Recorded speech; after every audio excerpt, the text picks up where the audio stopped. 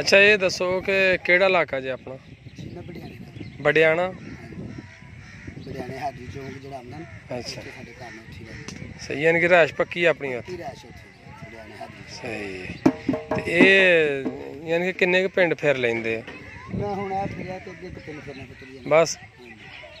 ਚਲੋ ਬੱਚਿਆਂ ਲਈ ਕੋਈ ਰਿਜ਼ਕ ਪਾਣੀ ਬਣ ਜਾਂਦਾ। ਸ਼ੁਕਰ ਹੈ ਅੱਲਾਹ ਦਾ ਅੱਲਾਹ ਰੋਜੀ ਦੇ ਆਪਣਾ ਫਨ ਵਿਖਾ ਕੇ ਤੇ ਜਨਾਬ ਅਲੀ ਮੰਗਣਾ ਨਹੀਂ ਕਿਸੇ ਕੋਲੋਂ ਆਪਣਾ ਫਨ ਵਿਖਾਣਾ ਇਹਨਾਂ ਨੇ। ਚਲੋ ਕੋ ਦੋ ਬੋਲ ਸੁਣਾਓ ਹਾਂ ਸਾਨੂੰ ਵੀ ਅੱਜ ਕੁਝ।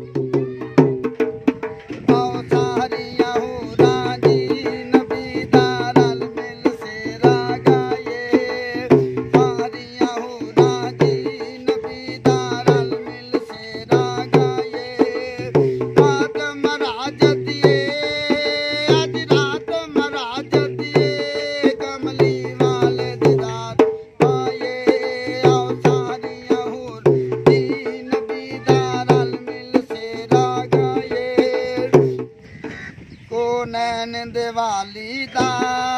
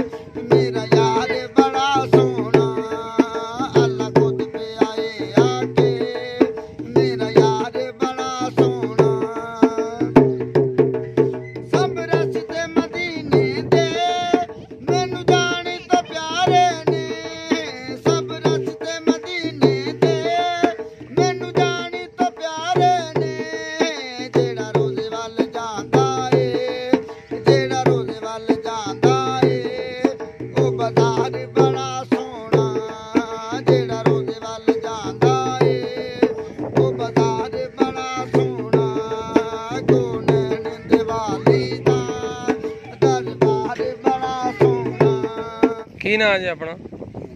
ਯੂਨਸ। ਤੇ ਵਾਲਾ ਸਾਹਿਬ ਦਾ? ਮੁਖਤਾਰ। ਤੇ ਕੌਣ ਹੁੰਦੇ ਹੋ? ਸਿਬਾਜੀ ਗਰ ਬਾਜ਼ੀਗਰ? ਯਾਨੀ ਕਿ ਪਹਿਲੇ ਬਾਜ਼ੀ ਹੀ ਲਾਉਂਦੇ ਰਹੇ? ਉਹ ਪਹਿਲੇ ਪਿਛਲੇ ਵਕਤਾਂ 'ਚ ਲਾਉਂਦੇ ਰਹੇ। ਹੁਣ ਅਸੀਂ ਛੋਟੇ ਛੋਟੇ ਹਾਂ ਉਦੋਂ ਪਿੰਡਾਂ ਵਿੱਚ ਆਉਂਦੇ ਹੁੰਦੇ ਸਨ ਬਾਜ਼ੀਗਰ ਬਾਜੀ ਪਾਉਂਦੇ ਸੀ ਉਹ ਬਾਜੀ ਨੂੰ ਛੱਡ ਕੇ ਹੁਣ ਕਾਰੋਬਾਰ ਬਹੁਤਾ ਕਰਦੇ ਨੇ। ਮੈਂ ਵੀ ਮੈਂ ਕਰਨਾ ਮੇਰੇ ਬੱਚੇ ਨਹੀਂ ਕਰਨਾ। ਸਹੀ ਸਹੀ। ਬੱਚੇ ਮੇਰਾ ਇੱਕ ਦਾ ਕੰਮ ਸਿਖਾਇਆ।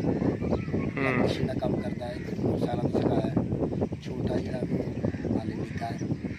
ਸਹੀ ਸਹੀ ਚਲੋ। ਨਹੀਂ ਜਿਹੜੇ ਬਾਜ਼ੀ ਪਾਉਂਦੇ ਸਨ ਉਹ ਤੁਹਾਡੇ ਕੀ ਲੱਗਦੇ ਸਨ? ਉਹ ਸਾਡੇ ਪਿਓ ਦਾਦੇ ਸਨ। ਅੱਛਾ ਅੱਛਾ। ਹਾਂਜੀ ਬਾਜੀ ਪਾਉਂਦੇ ਸੀ ਉਦੋਂ ਫਿਰ ਉਦੋਂ ਅਸਲ 'ਚ ਇੱਕ ਰਿਵਾਜ ਹੁੰਦਾ ਸੀ ਨਾ। ਆਵਾਜ਼ ਹੁੰਦਾ ਸੀ ਤੇ ਲੋਕੀ ਕਦਰ ਕਰਦੇ ਸੀ। ਕਦਰ ਕਰਦੇ ਫਨ ਦੀ ਕਦਰ ਹੁੰਦੀ ਸੀ। ਟੀਵੀ ਹਰ ਸ਼ਹਿਰ ਬਿਲਕੁਲ। ਜਿੱਥੇ ਮਰਜ਼ੀ ਬਹਿ ਕੇ ਵੀ ਦੇਖੋ ਹਰ ਸ਼ੈ ਮਿਲ ਜਾਂਦੀ ਬਿਲਕੁਲ ਹੀ। ਉਦੋਂ ਐਂਟਰਟੇਨਮੈਂਟ ਦਾ ਸਮਾਨ ਜਿਹੜਾ ਨਾ ਉਹ ਸਾਰਾ ਇਹ- ਇਹੋ ਹੀ ਚੀਜ਼ਾਂ ਕੋਈ ਸਾਈਕਲ ਵਾਲੇ ਆ ਗਏ। ਪਹਿਲੇ ਆ ਕੇ ਤੇ ਪਿੰਡ ਦੇ ਵਿੱਚ ਢੋਲ ਵਜਾਣਾ ਹਾਂਜੀ ਸ਼ੁਗਲ ਮੇਲੇ ਹੀ ਇਹ ਹੁੰਦੇ ਸਨ ਬਸ। ਤੇ ਫਿਰ ਬਾਹਰ ਪਿੰਡੋਂ ਫਿਰ ਉੱਥੇ ਬਾਜੀ ਪਾਉਣੀ ਫਿਰ ਬੜੀ ਦੁਨੀਆ ਇਕੱਠੀ ਹੁੰਦੀ। ਪੈਸੇ ਵੀ ਬਥੇਰੇ ਚੋਲ ਛੱਲੀਆਂ ਬਾਜਰਾ। ਸਾਡਾ। ਦਾਦਾ ਦੱਸਦਾ ਸੀ ਕਹਿੰਦਾ ਕੋਈ ਨਾ ਕੋਈ ਸਾਨੂੰ ਮਿਲਦਾ ਹੈ ਵਾਹ ਵਾਹ। ਤੇ ਉਦੋਂ ਬੜਾ ਰਿਜ਼ਕ ਵੀ ਬੜਾ ਹੁੰਦਾ ਸੀ। ਪਿਆਰ ਮੁਹੱਬਤ ਵੀ ਬੜਾ ਹੁੰਦਾ ਸੀ ਆਪਸ ਵਿੱਚ। ਲੋਕ ਬੜਾ ਕਦਰ ਕਰਦੇ ਸੀ। ਜਵਾਨ ਬੰਦੇ ਸਨ। ਹਾਂਜੀ। ਹੁਣ ਉਹ ਗੱਲ ਕੋਈ ਨਹੀਂ ਰਹੀ ਉਹ ਨਹੀਂ ਰਹੀ ਵਾਕਈ। ਹੁਣ ਸਾਡੇ ਵੀ ਇੱਥੇ ਸਾਰੇ 15 16 ਘਰ ਨੇ ਮੈਂ ਇਕੱਲਾ ਹੀ ਸਿਰਫ ਜਾਂਦਾ ਬਾਹਰ ਦੁਨੀਆ ਦੇ ਇੱਕ ਦੋ ਮੁੰਡਾ ਖੁਸ਼ ਰਹਿਣਾ ਜਾਂਦਾ ਹੈ। ਹੂੰ ਤੇ ਮੈਂ ਦੂਸਰਾ ਪਿੰਡ ਉਹ ਵੀ ਮੇਰੀ ਬਾਤ ਵੀ ਤੇ ਸ਼ੋਅ ਤੋਂ ਗਾਹ ਤੱਕ ਮੈਂ ਜਾਣਾ ਵਾ। ਹੂੰ। ਜਿਹੜੇ ਜਿਹੜੇ ਪਿੰਡਾਂ 'ਚ ਜਾਣਾ ਮੈਂ ਨਾਲੇ ਰਿਸ਼ਤੇ ਰੁਸ਼ਤੇ ਨਿਭਾਈ ਦੇ ਨੇ। ਸਹੀ ਸਹੀ। ਚਲੋ ਠੀਕ ਹੈ ਜੀ ਮਿਹਰਬਾਨੀ ਜਿਉਂਦੇ ਵਾਸਤੇ ਰਹੋ ਅੱਲਾਹ ਪਾਕ ਤੁਹਾਨੂੰ ਤੰਦਰੁਸਤੀਆਂ ਦੇਵੇ ਤੇ ਅੱਲਾਹ ਸਦਾ ਵਸਦੇ ਰਹਿਣ ਚਾਹੀ ਕਰਮਾਲੇ ਦੁਆਰੇ ਅੱਲਾਹ ਤੰਦਰੁਸਤੀ ਦੇਵੇ ਆਮੀਨ।